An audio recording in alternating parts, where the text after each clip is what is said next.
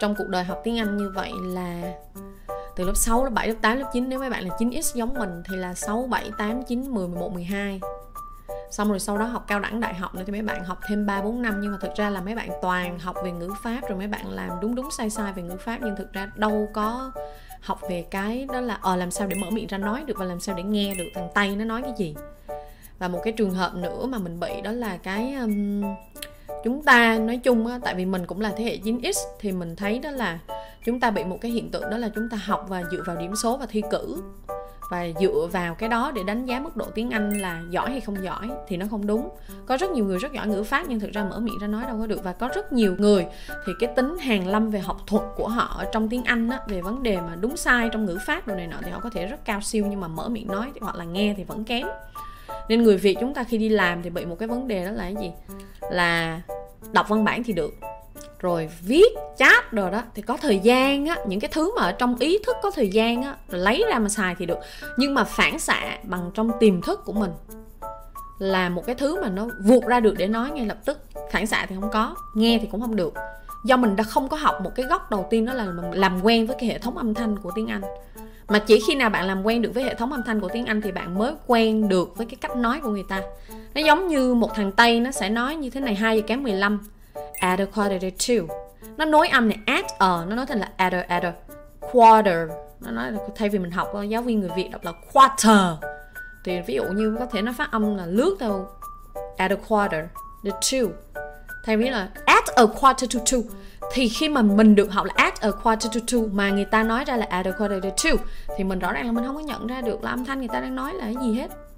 Thì cái sự conflict, cái sự mà mâu thuẫn trong cái cách mà mình được học và cái cách mình được nghe nó dẫn tới cái đó là mình không có khả năng nghe được tiếng anh. Nên nó phải xuất phát từ cái việc đó là phải chỉnh lại cái hệ thống về âm thanh và phải làm quen với cái hệ thống IPA và học phát âm từ ban đầu. Và mấy bạn sẽ nói đó là cần gì giọng à, phải hay đồ. Mình chưa nói tới chuyện giọng hay, mình đang nói tới yếu tố, đó là phát âm phải đúng. Và cái yếu tố phát âm đúng nó sẽ dẫn tới yếu tố đó là bạn tự tin hơn khi bạn nói. Và bạn nói nó chính xác thì bạn không sợ người khác. Thường là người lớn chúng ta có một cái tâm lý là sợ người khác đánh giá là bị sai khi nói. Nhưng khi mình phát âm đúng thì mình sẽ tự tin và mình có một cái căn cứ đó là mình dựa vào mình biết được đó là như thế nào phát âm là đúng. Thì lúc đó mình sẽ tự tin trong cái việc học tiếng Anh của mình. Nên cái lớp Train Your Voice của mình nó là một trong những cái lớp làm nên tên tuổi của mình và rất nhiều người truyền miệng nhau tới học. Từ những người thậm chí là đã tốt tiếng Anh rồi như các MC song ngữ các MC đài truyền hình và thậm chí là có những người đã tốt tiếng Anh là diễn giả thì vẫn học với mình để chỉnh lại cái voice của họ. Đơn giản là họ muốn sửa lại cái cách phát âm của họ, tại trước giờ họ phát âm theo bản năng.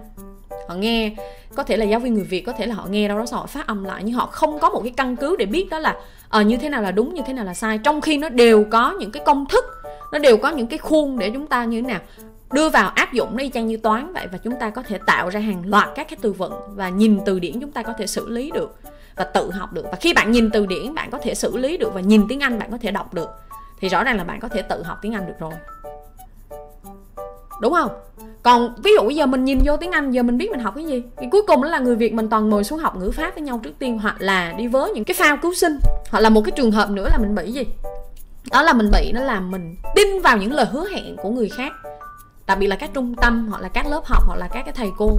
Thực ra không có ai hứa với ai và cam kết với ai được điều gì cả. Nếu học viên người ta không nỗ lực, nhưng để học viên người ta nỗ lực thì phải cho người ta thấy đó là người ta có thể học được và có kết quả. Nhưng mà để người ta có được kết quả thì phải như thế nào? Phải cho người ta thấy được đó là người ta cần phải kỷ luật và đều đặn. Phải giữ được cái tính kỷ luật và đều đặn như vậy ở trong lớp học. Học viên người ta có kết quả thì người ta sẽ tin vào bản thân họ đó là à thì ra trước giờ mình học bị sai đường. Chứ không phải là mình không thể học được cái ngôn ngữ này. Và đối tượng để mình nhận vào lớp của mình đặc biệt là lớp Train Your Voice thì là 10 từ 18 tuổi trở lên. Và hầu như cái đối tượng mà tới học với mình thì toàn là hai mươi mấy ha 20, 21, 22 cho tới 45 tuổi là đều học được đặc biệt là những người đi làm.